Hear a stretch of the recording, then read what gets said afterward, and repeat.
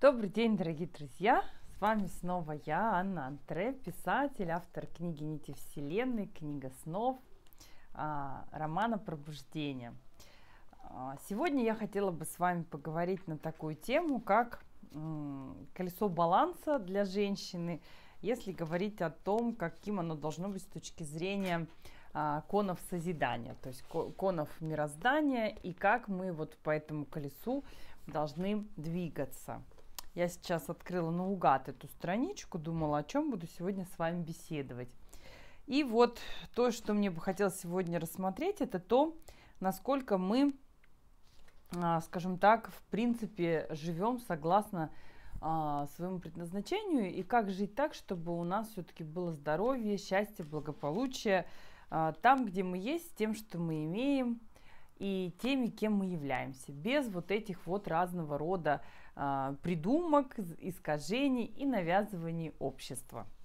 А, итак, дорогие друзья, первая ступень а, согласно предназначению тела. То есть первое, что мы рассматриваем в своем колесе, это тело, здоровье, красота, отношения женское, я и мое женское предназначение, я так назвала вот этот вот раздел – это страница 304. А, в онлайн-версии вы можете, если у вас нет книги, вы можете ее открыть на Литресе в онлайн-версии, а, почитать и посмотреть, насколько вы соответствуете этому своему предназначению. Итак, а, первое, что мы с вами рассматриваем, это тело, наши отношения с телом. Вот, знаете, есть такое выражение, что люди придумали язык для того, чтобы обманывать друг друга – ну, есть такое дурацкое выражение. Но тело никогда не лгет. То есть мы можем с вами очень часто, недавно тут редактировала статью а, Надежды Ивановны Влах, и вот вычитала у нее такую фразу.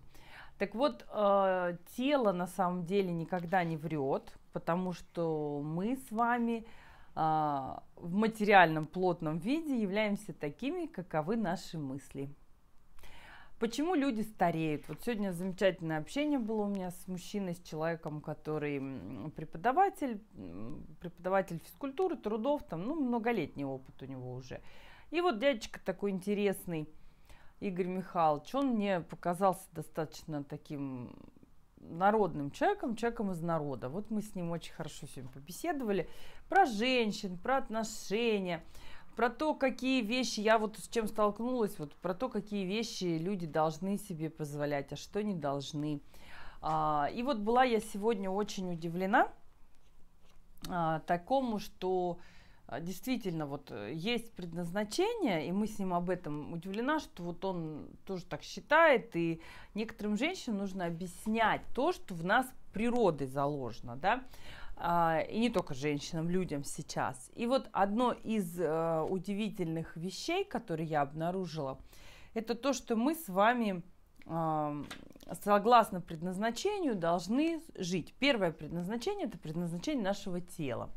Вот смотрите, если мы родились вот в женщиной, то у нас, значит, есть муж, логично, да?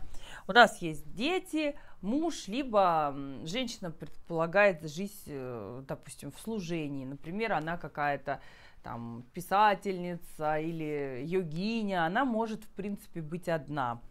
Но тоже до определенного периода, потому что жить одной а, никто из нас вообще не создан для одиночества, и если мы остаемся одни, то тоже по каким-то, вот, скажем так, причинам э, судьбы или кармы. То есть, как правило, люди остаются одни, если у них есть такая задача. То есть человек, допустим, прожил жизнь в семье, ну, остался вдовой, э, и так сложилось, что уже не, не, не нужны эти отношения, женщина не будет строить их.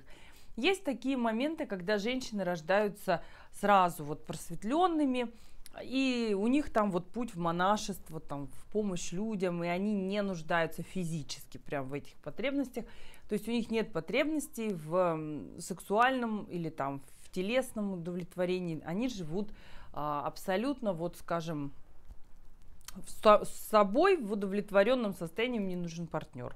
Это тоже уважаемо, но, как правило, это сразу человек такой рождается.